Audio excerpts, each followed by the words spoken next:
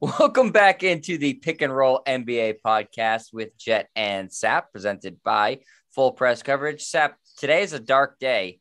I don't know if you know why, but I'm I'm very depressed. Do you want to do you want to stab a guess as to why I'm so down? You're very depressed. Well, it can't be because Marcus Smart signed an extension. That would be cause for celebration. No, that's right? good news. That's good. That's news. good news. Maybe for you, but not for me or other people that follow the Celtics. But yeah, we'll get to that momentarily. Why is it a dark day today? It's August 19th, is it? Is that the date or the 18th or whatever it is? I know Uh, it is. It is the 18th. Yeah. okay. We're heading towards the end of summer. Um, I no longer on our Zoom and YouTube feed. No longer do you stare at some sort of caricature that doesn't really exist. Now you get to see my. that's another good thing. face. That's, That's a good thing. Yes, that's not I why like I'm a- sad. I, I look like a young Lee, Lee Iacocca, um, the former head of Chrysler, who's a paisan. Um, trying to think, why would you be sad today? I'm not sure. Is this like some movie came out that didn't do well? Nope. Nope, Sap. The and I'm you know we're good friends. I'm a little upset that you don't know that the Celtics losing the summer league championship really hit me hard. Ah, that's right. You know what? Because I was, I, I'm sure you were hoping for title 18 because then you'd be one up on the Lakers if they won that was game I uh, against Sacramento. believe me, Sap. I had I was ready to go. I had those the little things that you pop and spray confetti. Yeah. And I had some champagne in in my fridge. And so I, yeah, Sep, I thought we were better friends than this. I thought that you would. I you didn't even reach so. out to me last night after they lost know. the summer league title game. I know, but you do have Davion Mitchell on Sacramento, who's becoming one of your favorite players. So there's that, right? I mean, they yeah, no, lost I'm happy. I'm happy for him. I'm happy for him. But Sep, I mean, I, I really would have a text, a call, an email, nothing from you after last night, and I was I was down Ah, about it. Well, I was you I know really what? I was I was ready for banner 18. You were ready to, to hang banner 18 and be one up. Well, it's just such an opportunity squandered, Sap. I mean, Yeah, you when- get you work you hard, you put all the time in the gym. You're you're in the title game, and they just didn't play their best basketball. Yeah, and you lose to Sacramento, who's now won it twice, right? So I guess that means Yes. that's important. Very important Very that uh, Sacramento wins. That that's one of those things that you know, if you're an organization like Sacramento who hasn't been in the postseason for like 13 years, yeah, maybe you hang that banner. Yes. Why They, not? hey, I listen, mean- uh, they, they get they gave them they gave them hats. They have a trophy. They have a freaking MVP trophy for the uh, Mhm. for the summer league title game. Yeah. So you Yeah. know, might as well hang the banner. But yeah, Sap, it was it was a it was a tough it was a tough night. I was expecting was. the Celtics to run roughshod through the Kings. Peyton Pritchard, my guy, played too much. He gave up away too much at the pro am where he was putting up 92 points. And uh, you know, he just didn't have enough left in the tank last night. And uh, you know, Romeo Langford also didn't play because he can't even stay healthy for summer league, which you know is problematic. Yeah, he can't stay healthy, right? He's not the most durable guy. He's not to be confused with AC Green, who played like 915 consecutive games with the Lakers. Uh, that's frustrating because again, he was a mid first round pick, and they've got nothing out of him.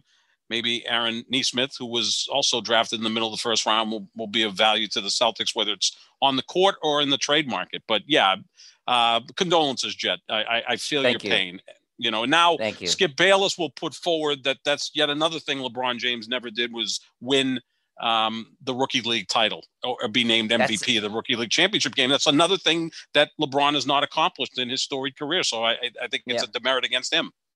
It's a big glaring hole in his resume. Oh, That's what it huge. is, Sap. And Huge. the Celtics, I mean, eh, they had a chance to get really on the right track, but they uh too many turnovers last night, Sap. That was the story of the game. I know that Well, you just- were watching intently. It's yes, I was too I many was turnovers. Glued to it. Yeah, I was. I was glued to it. I, I'm, the funny thing is, you were glued to it watching it because I'm sure you've watched almost every summer league game. I've tuned in every now and then. I do like Davion Mitchell. I think we're we're both fans of his. I think he's going to be a a star in the league. I wouldn't say superstar, but you know, it's unfortunate that he's going to a place like Sacramento. Maybe they can build something. Like if he had been fortunate enough to get drafted by a team that was a playoff team or contending team, what a perfect fit he'd be on on a team like say Phoenix or pick another contending team. He would have been perfect there because he could kind of work his way into the lineup and, and be a nice bench piece. But yeah, congratulations to the Sacramento Kings.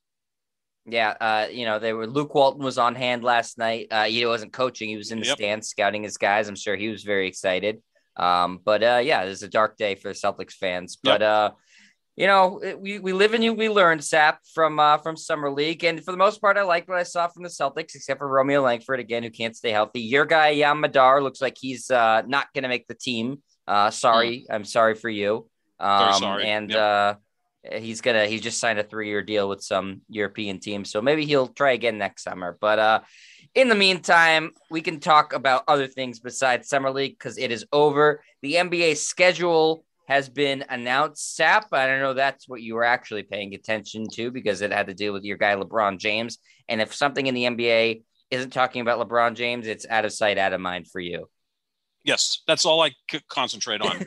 um, you know, if something happens with LeBron James, I have to jump into the fray and uh, let my opinion known. Yeah, the, the schedule came out, which uh, is always kind of fun. I mean, we know that you're going to play X number of games against certain teams. You're going to have a home right. and away with the Western Conference and yada yada yada. And it's back to normal this year, unless there's you know uh, more of a pandemic, and who the hell knows with that. But you know, the season starts on the 19th of October, ends on the 10th of April, so more of that classic six month schedule with 82 games. So kind of back to normal in the NBA. But we always kind of look at the Christmas Day games because although the season is going to start on October 19th, the, the big kickoff is Christmas Day because October, November, you still got the NFL in high gear. You got college football. You've got the World Series in October, if anybody's paying attention. And it really kicks off Christmas Day. That's like the real start of the NBA season, even though it's nine weeks into the season. So it's always interesting to see who plays. This will be LeBron James' 16th consecutive Christmas that he'll be playing on. So he is as dependable as Santa Claus on Christmas Day. Yeah, that is man, that is that is incredible. That's ridiculous. I mean, yeah. the guy that just never gets to spend Christmas with his family, but you know, mm-hmm. that's part of the the give and take of being you know, super, super rich and super, super famous and super, super good at basketball. But anyways, let's get into the playing, schedule. He's playing at home though, so that's always a good thing. That's I'm nice. sure he he uses nice considerable weight to make sure that. Well, Red Auerbach always wanted the Celtics to play on the road because he didn't want you know all the employees having to work that day and burden his fans with showing up to a game at uh, the old Boston Garden. So whenever the Celtics played on Christmas Day, and they were always playing on Christmas Day because they were, you know, along with the Lakers, the two biggest teams, he wanted them to play on the road. It always felt like the Celtics were playing at Madison Square Garden on Christmas Day. That, that just seemed like every single year, or maybe in Philadelphia, you know, against some Eastern Conference team. But LeBron will be at home so he can spend time with the family and then uh, get over and uh, kick some butt against the Brooklyn Nets. All right. So uh, uh, the opening day game, Sap, on October 19th, as you uh, alluded to, uh, are we got two games, the Nets and the Bucks and that's going to be on TNT. That's obviously a really high profile matchup, a rematch of the semifinals in the East. I mm-hmm. think people believe they're the two best teams in the Eastern Conference, the defending champions, obviously, and then the the the second part of that doubleheader is uh, the Warriors are going to take on your Los Angeles Lakers and LeBron James. The Warriors will be supposedly getting Klay Thompson back. I think he should be good to go by the time we haven't heard definitively, but uh, that should be a good game as well, Sap. So, uh, are you okay with those being the uh, the opening day games? Makes the most sense, right? The three biggest stars in the NBA remain LeBron, Kevin Durant, Steph Curry. Now, Giannis, I think, is the best player in the league, and and by winning a championship and in the method that he did that, I think he deserves that title. He's still not the biggest star in the league, but obviously the Bucks are the defending champions, so they're going to be on opening night at home able to hoist the banner, give out the rings, and really celebrate what they accomplished in that six game victory over the Phoenix Suns. So, yeah, that makes the most sense. Uh, you know, rematch of, of that great semifinal series between the Nets and Bucks. And look, anytime you can put the Lakers on and anytime you can put the Warriors on, provided you got LeBron and Steph Curry on the court, that's uh, pretty much a, a, a winning situation for the NBA and the networks. Yeah. Uh, so I mean that those ones make sense. Uh, the Celtics open the following day in New York against the Knicks. Uh, that is at 7:30 on Wednesday the 20th. And the Nuggets play the Suns in an interesting game uh, on mm-hmm. that one, and then everybody else is is playing. Uh, Sap, let's go to these Christmas Day games because those are, like you said, kind of. It's almost the season starts obviously in October, but that's when people really start to pay attention. Mm-hmm. Is around Christmas. Um, and we've got, they got a really good slate of uh, of five games on uh, on Christmas Day. Sap. starting with uh, Trae Young's return to Madison Square Garden. The Hawks face the Knicks at 12 p.m. on Christmas Day. Uh, I think that's a great game to be the first game showcasing Knicks with Kemba and a little bit of a new look Knicks team, a resurgent Knicks team, and the guy who tortured them in the playoffs, the new Reggie Miller, if you will, and Trae Young. Um, so I, th- I expect the Hawks to get a lot more national TV games this year. Sure, because Trae Young is an emerging star. They're a fun team to watch. It's a good market. And the Knicks generally, if they're decent enough, will be in this slot. They generally kick off Christmas Day with the noon game. It's kind of built into when you have so many people, whether it be corporate offices or league offices, you can get to the game early and then you're done at 2.30 and then you can spend Christmas Day with the family. So this is something to look forward to. I don't know if either team will go as far next year as they went last year. I mean, Atlanta made it to the conference finals. I don't expect that to happen again this year because we both agree that – Brooklyn and Milwaukee are better than Atlanta. We think Miami may have surpassed them, and Philadelphia, if they can figure out what to do with Ben Simmons, probably still better than Atlanta, even though Atlanta beat them in the second round. And the Knicks, I think they kind of come back to mediocrity this year, although they did add Kemba Walker and Evan Fournier, a couple of former Celtics. So at least, you know, they kind of went in to try add talent. But this should be a, an interesting game. Look, it's a, I know it's a cliche to say it's always better to have the Knicks as a competent team in the league. I, I, agree with that. It's not necessary. I mean, the Knicks haven't been good for a long time, and the league has grown incredibly over the last 20 years without the Knicks. But it's it's kind of fun to have them there. It's a great basketball city, and and uh, this should be a good game to kick off the proceedings. Yeah, then that one is followed by uh, the Celtics heading to Milwaukee to take on the defending champs. Uh, obviously the Celtics uh, still have star power. Jayson Tatum is one of the most popular players in the league. Jaylen Brown, very mm-hmm. popular mm-hmm. player too. Uh, the Celtics are still one of the most popular teams in the NBA. So despite what we may think about them, they're still relevant enough to warrant a Christmas Day game. And obviously, you knew the Bucks were going to be playing on Christmas Day because they're the defending champions and they get to spend Christmas with their families because it's a home game for them. Yeah, it's interesting here, Jet, because normally the defending champ will be in either the five or eight o'clock game. Those are the two marquee games. Milwaukee still doesn't have the nat, nat, national national appeal that say the Lakers or now the Nets with Kevin Durant or the Warriors with Steph Curry have. Uh, and you, you've seen this even throughout the playoffs. The Bucks independently aren't a great draw. I mean, a lot of their games were marquee games of the playoffs because they were playing the Nets in the second right. round, and then of course once you get into the conference finals, those games are already slated to be nine o'clock games or 8.30 games on whether it's espn or tnt it's surprising that the 76ers aren't in here but the celtics still have a bigger reach than the 76ers and this should be an interesting game and it'll be a good benchmark to see exactly where the celtics are two months into the season if they're going to be a true contender or they're going to be closer to the seven seed, which they were last year. But again, a nice national audience to, to take a look at Giannis and, and you know, two months into the season, maybe strengthens that hold on being the, the best player in the league. Yeah, I'm a little surprised that the five o'clock game, which is the uh, the, the, the following one, uh, isn't more of a big time matchup. I mean, listen, it's Golden State at Phoenix. It's a good matchup. I, I, don't think either of these teams will be in the Western Conference Finals. So uh, I, I just I don't think it's as sexy as as I'm a little surprised they didn't have Milwaukee play uh, Phoenix here as a finals rematch. Yeah, that would have been interesting, right? You know, just do that and and you know go interconference rather than within the conference. And you know, Golden State still has a lot of pull in this league, especially we expect Klay Thompson to be back. Who knows? You may have Ben Simmons in uniform for the Golden State Warriors by then, so that would be an interesting note. But Milwaukee just still doesn't have that national appeal. And and again, this Phoenix Probably not. I mean, it's uh, look in the pecking order in the NBA. It, it's more about the players than the teams. I mean, if LeBron James yeah. played on the Denver Nuggets, they'd be must-watch TV, right? If Steph Curry was playing on the Indiana Pacers, you know, they'd be on the maximum amount of times on national TV. Sure. So it's more about the players than anything. That's why I, I, think even when you look at opening night, the three biggest stars in the league are LeBron, Durant, Steph, and um, also they're the three yep players that are already exalted. Like, you know, look, Giannis is going to be a Hall of Famer. Westbrook's going to be a Hall of Famer. Harden, Kyrie, pick whatever players you want. But those three guys are already among the all-time greats. I mean, heck, I think LeBron's the greatest player ever.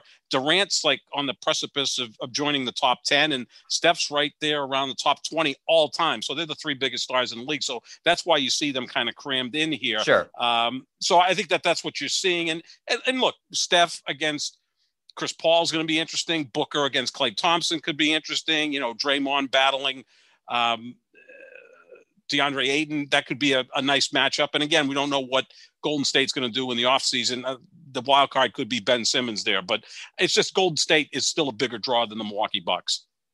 Yeah, I, I mean they are. I, I, I can't disagree with you there, um, especially because you know the Bucks are still looked at as Giannis and a bunch of other guys, even though we saw what Jrue Holiday and Khris Middleton are mm-hmm. capable of. They're, they, you know, Steph is still the biggest star of those guys. Klay Thompson still and Draymond Green are still more household names than Khris Middleton and Jrue Holiday. That's just that's just Absolutely. the way it is. Um, but uh, but so that would be I think it'll be a good game, Golden State Phoenix. Um, and then the the marquee game that everybody wants to see at eight o'clock is uh, Brooklyn goes to LA to take on the uh, the Lakers. Uh, that should be a really really fun game, providing everybody's healthy. Yeah, that's the marquee game of the year, perhaps. Right. Also, whenever the Lakers visit Brooklyn, uh, sure. That's going to be obviously another marquee game. We all thought late in the regular season that it was going to be Brooklyn Lakers finals. I still think if both teams were healthier, not even 100% healthy, that's what the matchup would have been, but it didn't take place. And you got to give credit to Phoenix and Milwaukee for taking advantage of that and getting to the finals, and Milwaukee ultimately winning the championship. But yeah, this is the marquee game of the day and the season. And uh, look, the two biggest stars in the league going mano a mano. Uh, could be that preview of the finals. You've also got Kyrie with his cantankerous. I don't even know if that's the right word to use, but you know, less than great relationship with LeBron James. This is going to be a, lot of fun to see. This is the Didn't Kyrie, game, obviously. A couple a couple years ago said like he didn't believe in Christmas or something along those lines. Oh, I'm sure. Yeah. I'm sure. Well, maybe guess, it was Thanksgiving. Know, I don't remember. Could, he doesn't like it, holidays. I don't it, know that. It could be. No, I don't think he likes holidays. I think it was Thanksgiving. I think it was Thanksgiving okay. more. Um, and again, Kyrie's a unique guy. And I think some of the things he talks about, I, I, like to listen to. It's just that there's so much out there that at times you kind of tune them out. I'm sure 30, 40, 50% of the time when he speaks, he, he's kind of making some sort of point. Let's not forget, he's part Native American, so Thanksgiving may not exactly uh, be his favorite holiday. So I can understand that. And yeah, but again, the problem I have, Sap, is that he says all these things, but he talks about it like he's the expert right, on all these exactly. things. Like he knows yeah. the most. Yeah. And so, I mean, I feel like he's done a little bit of re- he's Googled something and then proclaims himself yeah, exactly. to be an expert. Oh, he's were you a, a, big fan of Cheers, the TV show yeah. Cheers? I mean, he's Cliff Clavin, right? Just a little yeah, bit of sure. knowledge is really dangerous. like, yeah, you could go on Wikipedia and research something and and you know have some knowledge of something and sound like you really know something, but you're not an expert in that field. But I can understand that. But it, Christmas, um, again, I, I think I believe Kyrie is Muslim. If that's the case, then converted. This yeah. is not, you know, a, a, really big holiday or even a holiday for him. But you know, it, there's also a chance Kyrie doesn't play because you don't know with Kyrie. He may have joined the circus by then. You know, he might be flying out of space with Jeff Bezos. Who the hell knows with Kyrie? You do want to yeah. see Durant and LeBron healthy because that is the marquee matchup in the league. Sure, and and Adam Silver, I think it will really put the the, the screws to these two teams, saying no, right. uh, you know, no rest in this game. Everybody's playing no. in this game as long as they're they're healthy, reasonably healthy. You, they got to play these guys in this game. People have been waiting for this matchup. Uh, it, it's a showcase of of I mean, six of the best players in the NBA, six of the top 15, 20 guys, if you want to say it. You know, between Harden, AD. LeBron and Durant, you could make an argument that those guys are all in the top 10 without a doubt. Oh, without question. Yeah, I think you're seeing uh, four of the top 10 players in the league. And I think Kyrie and Anthony Davis uh, or Kyrie and Westbrook are just on the outside of that. And then you also got, look, I know they're way past their prime, Carmelo Anthony and, and Dwight Howard. You have eight. Sure. First ballot Hall of Famers that will be on the court. No doubt. This day, provided they're all healthy. I mean, there's always – a situation with Anthony Davis. He's not the most durable guy. Kyrie, we know, isn't the most durable guy. Um, but this is a game to look forward to. and, and let's hope that both teams come at it full strength because I know the nation will be watching this because it's such a huge day for the NBA and it's a great day to showcase these amazingly talented players and you know kind of gives us a little bit of a look at a potential final um, although it well, doesn't Zap, necessarily mean that much because I, I, remember a couple of years ago on Christmas Day, the Clippers beat the Lakers, and everyone was like, "Oh, the Clippers are better than the Lakers," and it turned out the Lakers won the championship t- right. ten months later because of the pandemic. Do, do you think that Adam Silver has a conversation with these two teams and says, make sure that your guys are good to go for this game?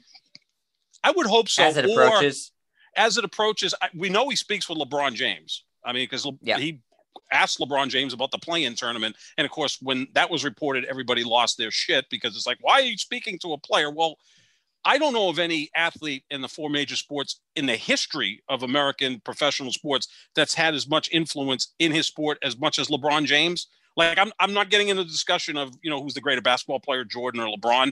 Jordan didn't carry as much weight in his day as LeBron does now. LeBron is almost partially because like 30... David Stern was a dictator. Exactly. I mean, look, there are some of us who think that Michael Jordan got suspended in 1993 but also the fact that you can almost look at LeBron as the 31st owner or the co-commissioner because they want to run things by him and it makes sense. He's he carries that much weight. So yeah, if you get the message to LeBron and Kevin Durant, who are the leaders of these teams, maybe get it to the coaching staff, maybe you go all the way up to the owners and say, look, this is the marquee game of the year.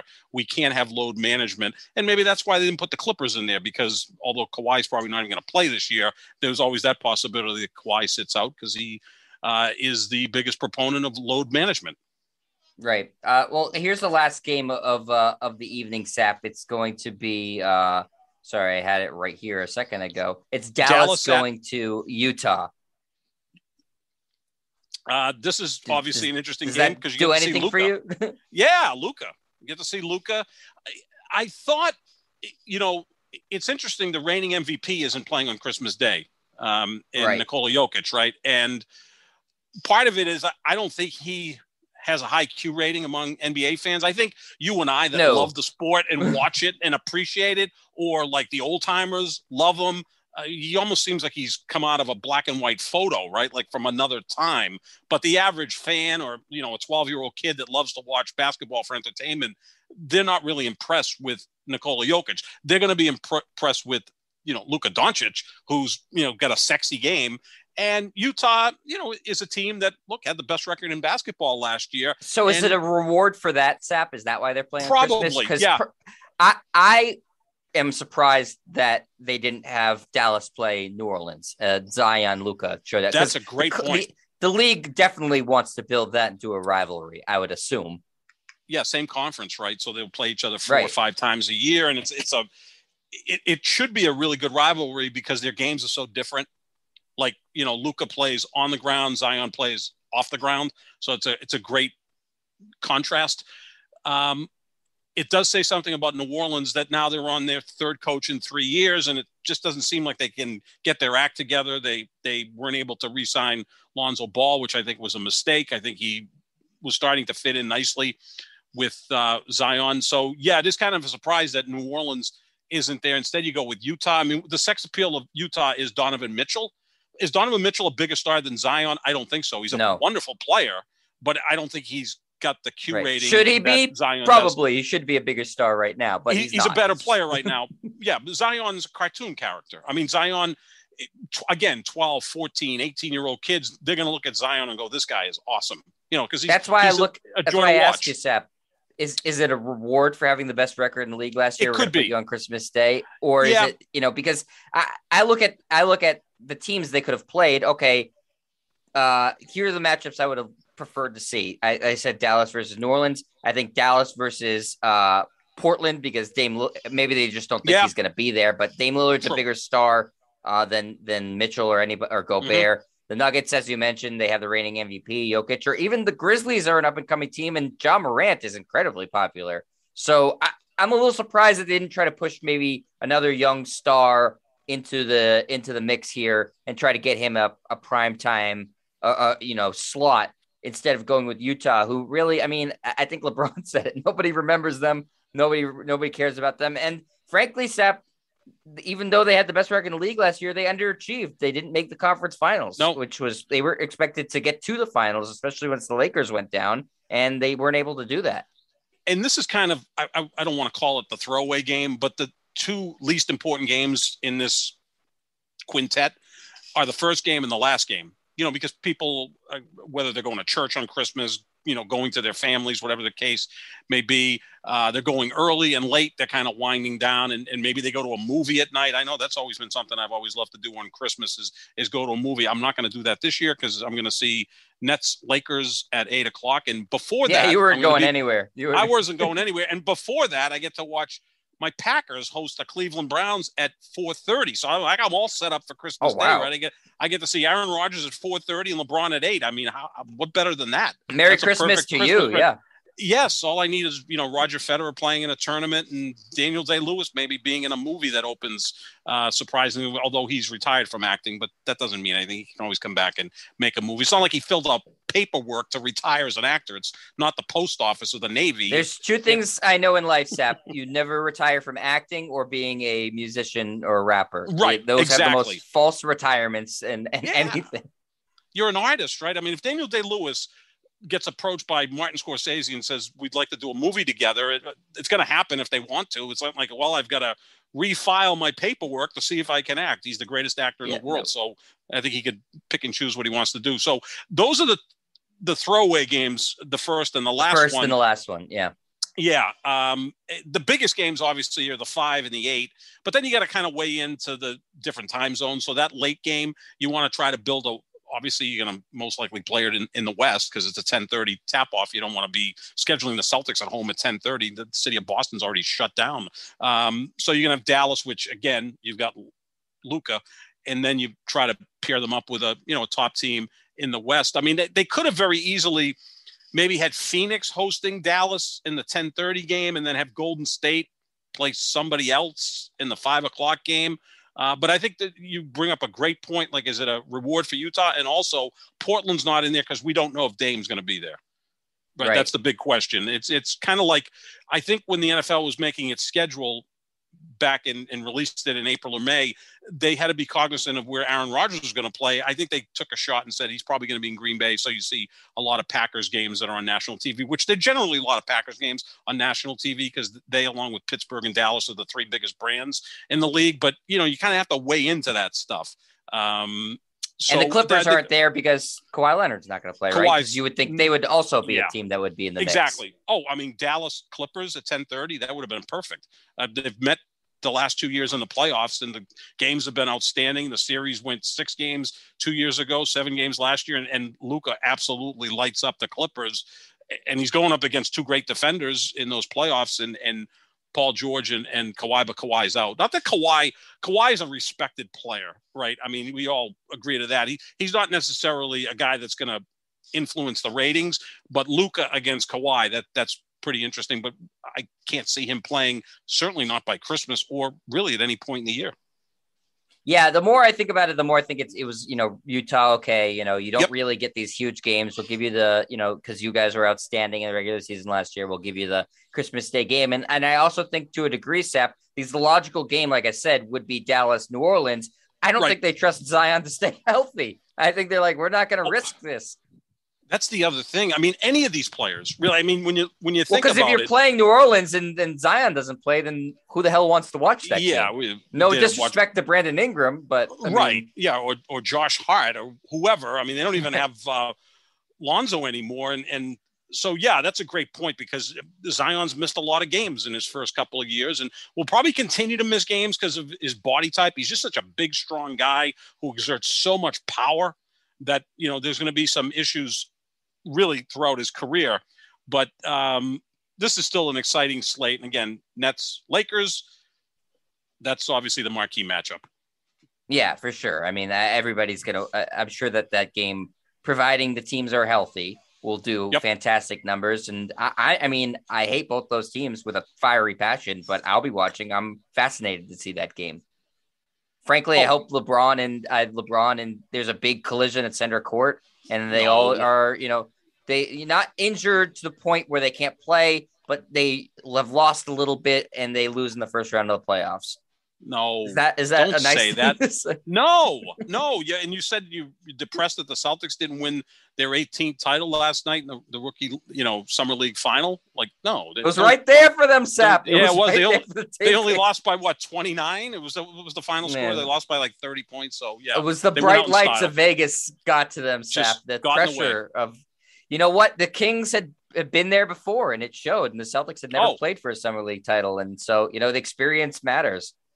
Oh, without question. I mean, the Sacramento Kings, who used to be the Cincinnati Royals, I mean, Yep. the greatest player in their franchise history remains Oscar Robertson. So Yes, n- nothing disparaging against Oscar because I have him as the 10th greatest player of all time, but they really haven't had a player since Oscar that's remotely close to him. Uh, probably right. the second, their second best, best player? Chris Webber. Chris Webber. Yeah, I mean, probably.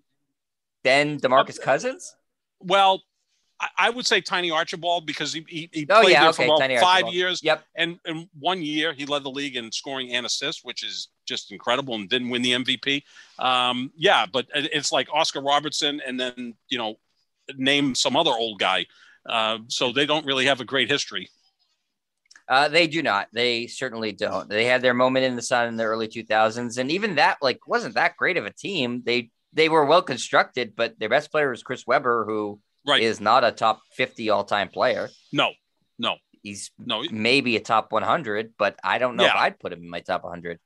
Yeah, I think I probably He's would. I mean, I- borderline. I- yeah, and he's in the Hall of Fame, which I think he belongs to be in there. But yeah, he's not. He's not a top fifty player. No, I mean, without question. So uh, But That was yeah, we don't have to team. relitigate the the Kings. No, but anyway, no. Sap, uh, we can look at some of these big extensions that just happened in Yes. the NBA. Um, so, you know, some of these teams are are playing on Christmas, and they'll have uh, a lot of money to spend on presents. Um, some of these guys aren't playing on Christmas too, and so they'll have even more money to, to spend on presents because they'll be there. Um, here are the extensions, Sap. Uh, Joel Embiid gets four years, $196 million max extension to stay in Philadelphia. Kevin Durant, four years, $198 million staying in Brooklyn. Luka Doncic, uh, we, I think we briefly talked about this the other week.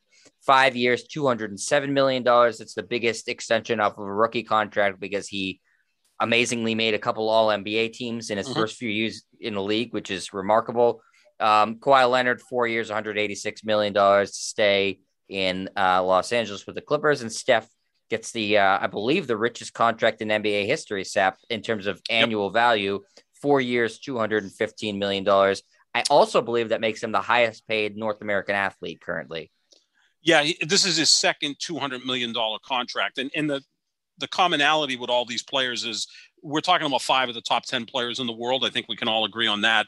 And now the league feels more like the EPL or La Liga or Serie A, uh, the professional soccer leagues in Europe, where you just if you have that megastar, you just throw fifty million a year, whatever it takes to keep that player there. That's what you do because all five of these players, look, they're they're sensational players. Uh, obviously, Steph, Kawhi, KD, they're already Hall of Famers. Luka and Embiid are on a path to being Hall of Famer. Although Embiid has played so few games, it's kind of jarring.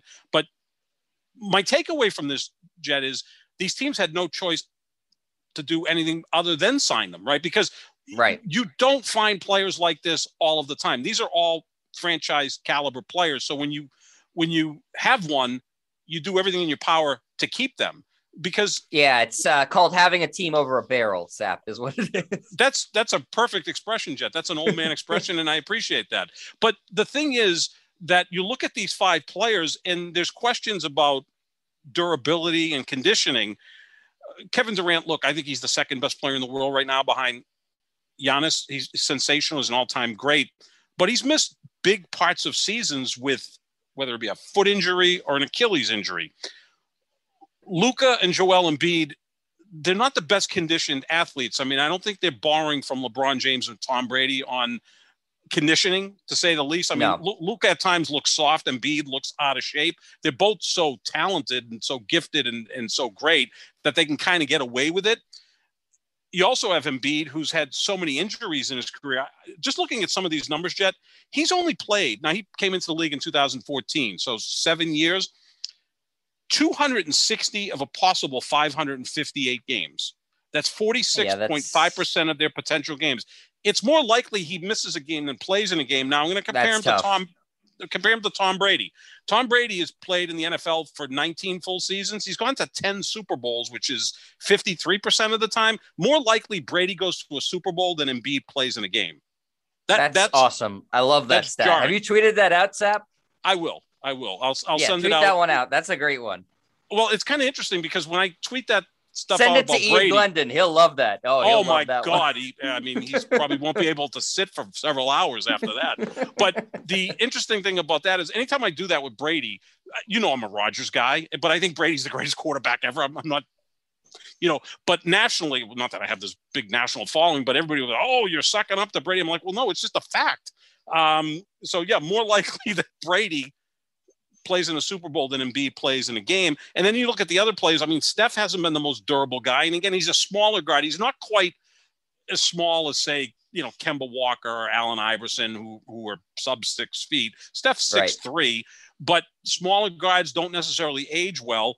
And Kawhi, look, Kawhi's not been the most durable guy either. He's played No, in not at all. 500 and, he's played in 576 of a possible 788 games. That's 73%. I mean, compared to Embiid, Kawhi looks like Cal Ripken. So Right. that's and the Luka is the most. I mean, he's only been in the league three, Three years, years. but he's been the most durable of these guys. I, I know you're saying he's his conditioning is questionable, which I, I Yeah. agree with, but he he at least has been available.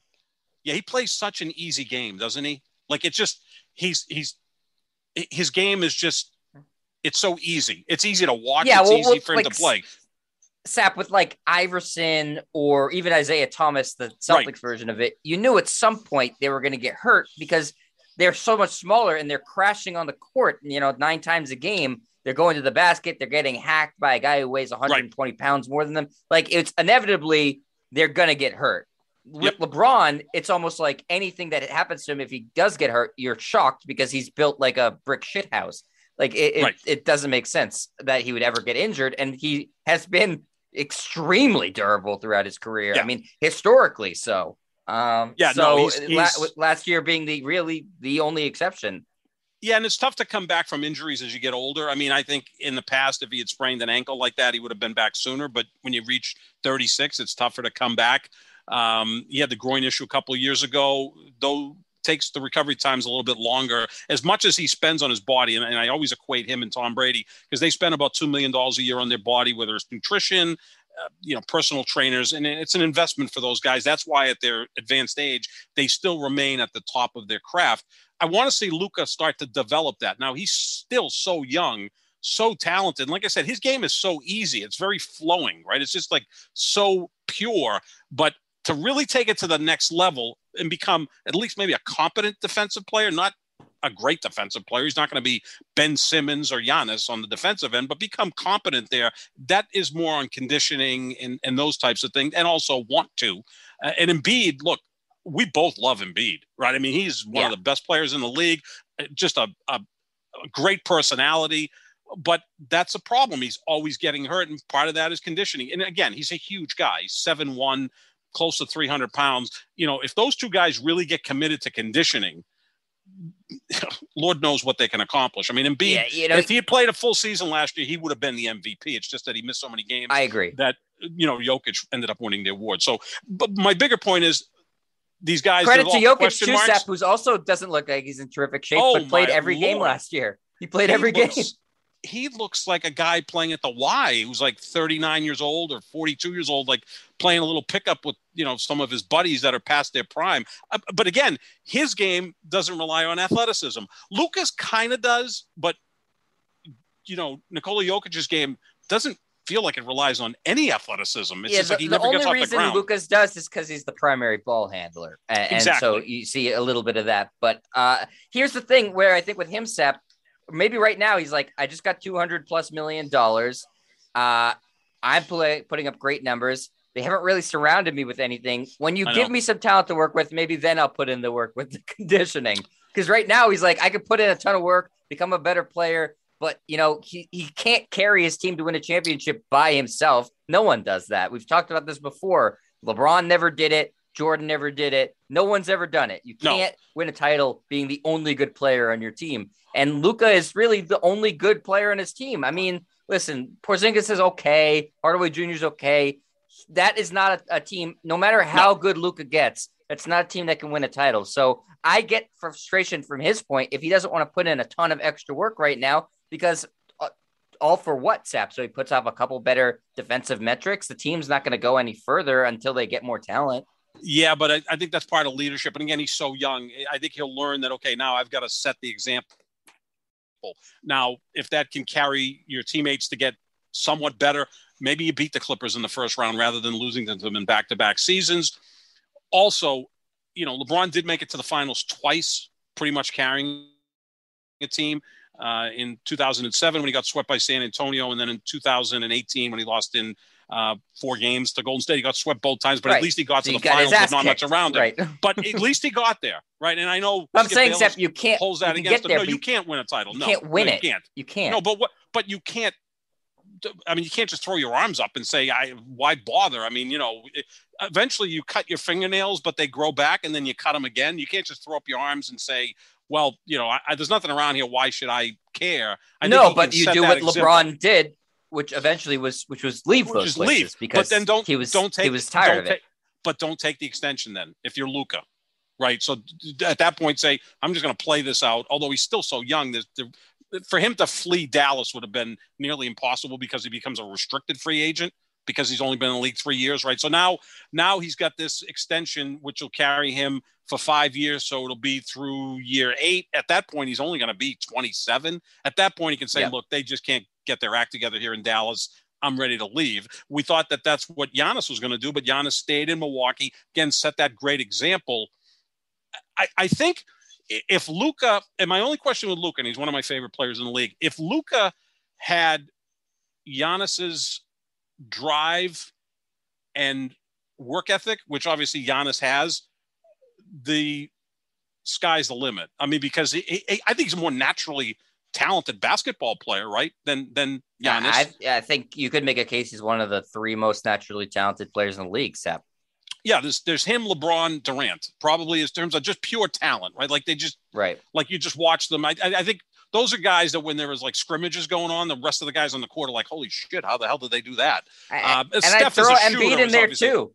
Yes, absolutely. So th- there's another guy. So it, now Giannis, who who, look, obviously he's skilled, talented. I mean, he's seven feet tall, and he's he's essentially a seven foot tall Russell Westbrook. But my point being, a lot of his game is built on the fact that he's in great shape and that he works his ass off, and he's so committed, and he works on his game. And if if Luka does that, what the hell he could be you know an all-time top 10 player without question but this happens a lot in sports though right they, and it's kind of the tom brady method like there's more gifted quarterbacks than tom brady so they don't work as hard as brady but brady's worked so hard that he's surpassed them you know you, you, you do need the level of talent to do that i, I, I gonna get turned off when people say well brady's really not skilled well no he's a, a, a great thrower of the football he's got great footwork in the pocket and you know skill sets can be defined differently like you know diagnosing a defense and knowing where to go with the football is a skill. So yeah. I think that that's what you want to see from Luka because Luka's talent is just it's scary. I mean, he he probably is the most talented player since LeBron in terms of just feel for the game, ability to score, do it efficiently, get double digit rebounds, be the best passer on the court. Now, he's never been able to show on the defensive end that LeBron has, but he's got that type of skill set. So if he's co- committed to his conditioning and and just working harder this guy could be the best player in the league in a few years, which I think that's going to happen. I think that the light bulb will go off at some point, and and he'll just say, "Look, I want to be that guy." Yeah, I, I, mean, I think so too. I think everybody's just sort of waiting on it, and and and part of what elevates you to being that guy too, Sap, just like it did with Jordan, and and, and somewhat with LeBron too, is you need to have some sort of sidekick. Of course. Oh God, yeah, yeah. I mean, if it continues to be Porzingis and you know scrubs, then it's not going to work. I don't care how great he is. I mean, once well, even like while, Giannis, Giannis needed two other you know all star yeah, caliber players, really good and, players, a lot of yeah. players do. There's nothing wrong with that. You could be an all time great player and still need uh, two extra players with you. I mean, and, not everybody is not everybody is Michael Jordan and and LeBron James. You know, no, no, that's those, a very rarefied air where you can give and, them one other good player and they'll compete right. seriously for a title. I mean, that's that's not very common. And sometimes you just need that break. Right? Like, and again, I don't want to disparage the Bucks and Giannis, but things kind of fell in place for them, right? I mean, you know, Brooklyn had Durant and then a hobbled Harden and Kyrie got hurt in the series, so enabled Milwaukee to get by Brooklyn. And then they faced a Phoenix team that just, for some reason, didn't ever watched basketball before and had no clue how to defend Giannis, which, you know, you build the wall and, and take your chances there. And for some reason, my man Monty Williams didn't design that defense. So you, things happened on the way that you broke right for the Milwaukee Bucks. But that's in any championship. I mean, like, go back to any recent champion. I mean, there, there's always a game seven in a in a certain series, which goes to overtime. In the case of Milwaukee, Brooklyn, that goes either way, and it, it changes right. the history of basketball. Even even the Tampa Bay Buccaneers. I mean, they had a great run, but I mean, New Orleans is up seven points in the third quarter, driving for a field goal, and Jared Cook fumbles, and Tampa gets it and scores a game tying touchdown and ends up winning. I mean, if, if he doesn't fumble and New Orleans kicks a field goal, they have a 10 point lead. They probably beat Tampa Bay, and it's a, it's a different result in the NFL. It's just you don't see teams like I mean the, the 95, 96 Bulls were the exception who just just steamrolled through everybody. Right? I mean, they won 72 games and they had one six game series that was against Seattle, and they were leading that series three games to none. I mean, just, just they just destroyed everybody. There was no ha ha moment where you said, "Well, if it just went the other way, they would have lost." That's where right, we are yeah. in sports now. You know, even the Dodgers were a dominant. And it wasn't one of those year. fake great regular season teams like Utah last year or the Hawks no, a couple no, years no. ago. Right. You know, sometimes that happens where the best team says, "Ah, well, you know, we'll pump we'll pump the brakes a little bit in the regular season and just wreck everybody in the postseason." I, yeah, that that Bulls team just wrecked everybody all year long. That that was an all-time team that was committed from the get-go. Now the Celtics in 07-08 were similar to that, but let's not forget their first two series they needed game 7 against Atlanta, which had a losing record, yep. and then game 7 against Cleveland, which was again LeBron and some other guys. But then they started to right yep. the ship, beat Detroit in 6, the Lakers 6 in 6 against but, Detroit, yeah. Yeah, I mean, the 85 86 Celtics were probably one of those teams. In fact, I know they were one yep. of those teams that just basically did whatever they wanted to. They were just better than everybody. And the same thing was it the, the 01 Lakers too, Sap, that we talked oh, about before. The that's the team I always I always go to. Destroyed yeah, everybody. The 83 76ers, right? When you lose one game in the postseason, one game, you're clearly yeah. better than everyone else. They even cause you to break a sweat. Yeah. Uh, so, I mean, I think it'll be interesting to see with these guys all the extensions, you know, how they, if do they improve? We expect, obviously, Luka should because his age keep getting better. At some point, you wonder, okay, is Steph, he's got four, now he's extended four more years. Are the back two years, is he going to decline a little bit? Last year, you could make a case was as good as he's ever played, as good as he's ever played. He obviously didn't have the help that he had to right. in his in his MVP years, but statistically he was right on par with that. In fact, he won the scoring title. He was a little bit better. um, so, uh, but do you think Sap with these guys, KD, Luka, Kawhi, Steph, Embiid, four years for all of them except for Luka, who's five? Do you think that by the end of these contracts, all these players will still be close to their primes, or do you think that some of them, these guys are going to just paying for the front years, the teams, well, I, I should say? Kawhi, it's kind of reversed because he's not going to play this year. So what the Clippers are hoping that they get three really good years from him. Now Kawhi is 30. He seems to be an old 30 to me. He's in great condition. He's a hardworking guy, but his body, you know, at times has betrayed him. And and that's something that's just genetics. Like LeBron has the body that bounces back. Other guys get hurt, and it's it's a long process to get healthy. So with Kawhi, it seems to be reversed in that the first year is kind of a throwaway year, kind of like when Durant went to the Nets a couple years ago. You knew he wasn't playing that first year in Brooklyn, but you're like, well, he's worth the wait, and Kawhi's worth the wait as well. Um, Steph, that's a tough one because again, he's 32, going into his 33 year, uh, 33rd year of age, so he's going to be like 37 when this thing is done. But again, athletes are playing longer; they're better conditioned. I don't think he's going to forget how to shoot right? I mean, I think Ray Allen could come out of retirement, get into a camp, and still be a dead eye shooter. Now, the rest of the game is impressive, and how they can, you know, continue to be um, at that very high level. Because the, the thing about Steph, Steph is the greatest shooter I've ever seen. He also moves without the basketball better than anybody I've ever seen. So that that is a concern in terms of conditioning uh, which he's going to be in, in, top shape. But you know, as you get older, it's tougher to do that, and, and any kind of injuries too. So yeah, I mean, I think they're all question marks. All of these guys are question marks, with the exception of of Luka because he's so damn young and he has been durable. Uh, that yeah, I mean, Embiid who the hell knows? Again, he's played 260 games in his career, and he was drafted in 2014. That that's right. you know that's scary. But when he's on the court, man, he's dominant. Yeah, uh, so we'll have to see. I mean, I, I, think that, like I, like you said, Sap. I mean, obviously these teams, it was a no brainer to to right. extend all these guys. Uh, the thing that I've actually, you know, I'm not a huge LeBron guy, though I'll compliment him when he's due because I'm not blind. Uh, the thing that he said a while ago that resonated me maybe the most in terms of talking about basketball, and I 100% agree with this. There should be no max contracts.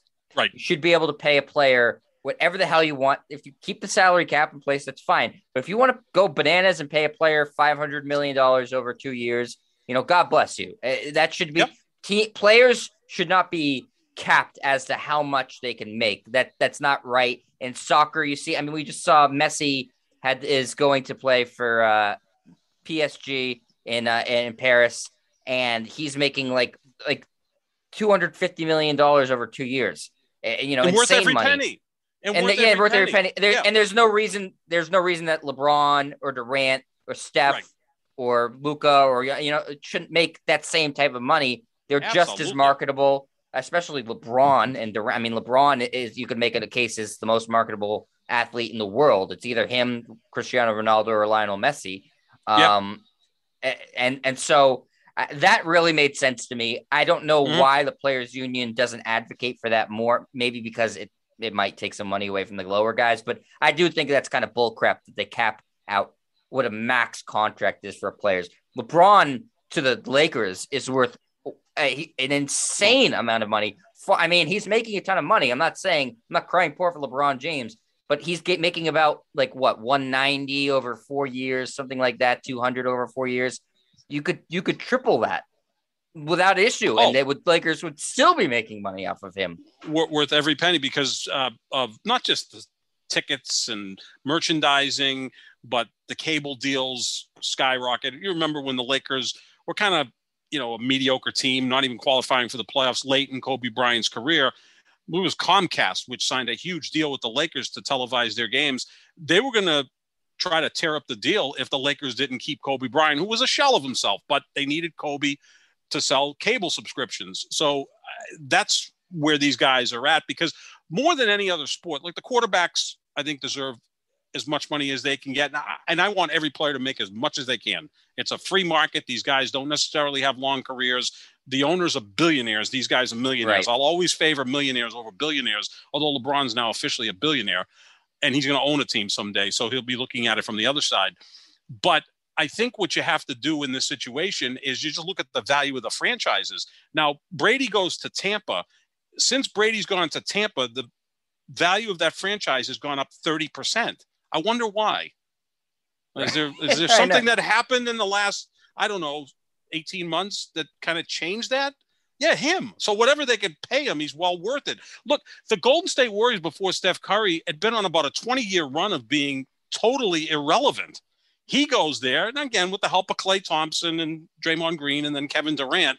The value of that franchise now is second in the league behind only the Knicks. They built this beautiful arena and a lot of it is because of Steph Curry. And whatever they pay him, he's worth every penny. It's I, I just don't think people realize that that what these guys bring is more than just well, you know, they sell out the games. Anybody can do that. It, it's a lot more than that. Look, when Cristiano Ronaldo signed with Juventus, uh, the team in Italy that, that is, plays in Torino, right. they sold tens of millions of jerseys with his name on it, and it just look at the amount of and money that's that just that jerseys. Business, it's not just bobbleheads, jerseys. flags, right. uh, socks. I mean, uh, everything. I mean, literally every everything has a player's face or likeness on it now. I mean, literally, mm-hmm. there's a million different products, water bottles, right. you name it, underwear, uh, phone chargers.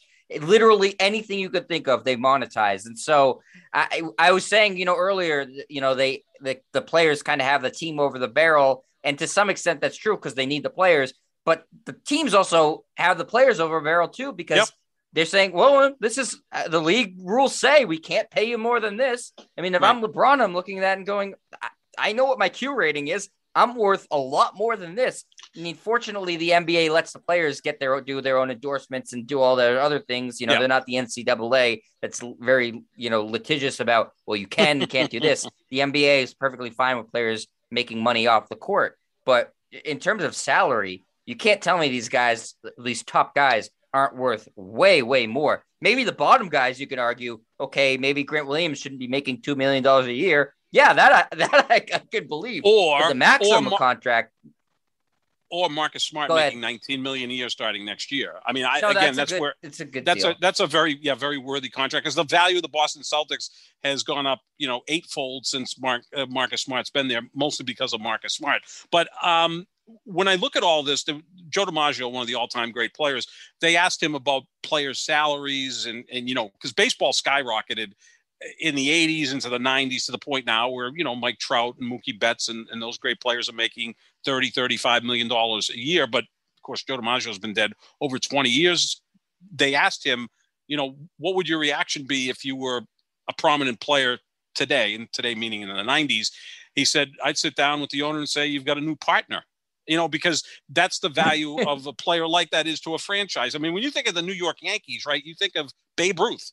Like that, he, he's synonymous with that team. When you think of the Celtics, it's Russell, it's Bird, it's all those great players. With the Lakers, they've got a litany of all-time great players. So yeah, I, am all for the players getting as much as they can, and and um, you almost get a feeling too, Jet, on, on some of these guys, like the league should pay them. Like Jordan, Jordan really didn't make huge money till his last few years in Chicago. You know, when they finally right. paid him like 30 million a year and he was doing one-year deals, like the league should have kicked in. He he he was the league at that point. No, he, he was worth he was worth a hundred million dollars a year to them. And this, we're talking 25 years ago, right? I mean, because the TV right. ratings when he retired uh, for three years, the ratings went down like 50%. I wonder why. You know, so Seth, he was the most like him, popular person in the world, not, he still not basketball. no one hears from him anymore. He's still the biggest athlete in this country. I know you, you said LeBron, and look, I, am a LeBron guy, but it, Michael Jordan is still the biggest brand in all of sports, oh, and the is. guy hasn't played for over 20 years. Isn't that crazy? My my niece is five years old. My grandniece is five years old. She has Air Jordans. You know, she actually let me know that she preferred Space Jam over Space Jam 2. I'll never speak to her again, but that's okay. That was yep. her choice. She's, She's a smart girl. You've disowned uh, but her. I, I've disowned her. She's out of the will.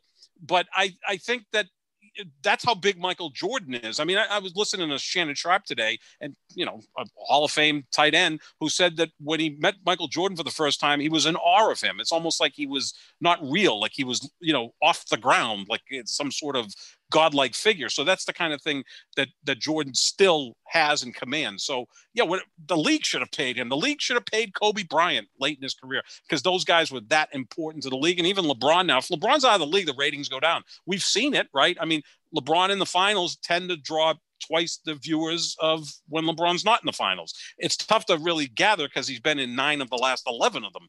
The two he missed, the ratings were down. Yeah, I'm just saying that, like, and I think in, you obviously agree with me, Sap. The max mm-hmm. contract mm-hmm. thing is is stupid. They're worth more yeah. than that. They are. Yeah. I mean that that's just the, the the teams might try to hide the finances and stuff like that, but the amount of money that the Lakers and the rest of the league, because there's revenue sharing, make off of LeBron James is absurd. They make oh, an, just a ridiculous amount of money off of him. Yep. But you know that's that's uh that's another topic for another day, Sap. So that's going to do it for us here on the uh, Pick and Roll NBA podcast with Jet and Sap.